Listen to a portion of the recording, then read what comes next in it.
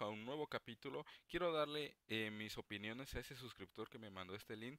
Antes quiero decirte, chavo, que esta computadora no vale el precio, está realmente sobrevalorado el precio. Son los mismos tipos de 4KRC, una tienda que no sabe nada de cómputo gaming. Tenemos un procesador bastante básico, un dual core del i3 de cuarta generación pero eh, acá en la descripción nos menciona una GeForce GTX 750 Ti. La diferencia de una 7 Ti a una 750 es que es la frecuencia y la calidad de memoria de VRAM que va a tener o memoria de gráfico. En este caso en la descripción te ponen una 750 Ti y acá abajo en la descripción te ponen una 750.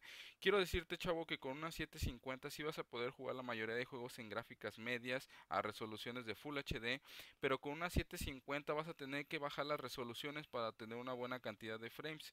Entonces, este teniendo en cuenta que son 4 GB de memoria RAM DDR3 a 1600 Quiero decirte que esta es una computadora sobrevalorada, es un buen equipo de bajo costo.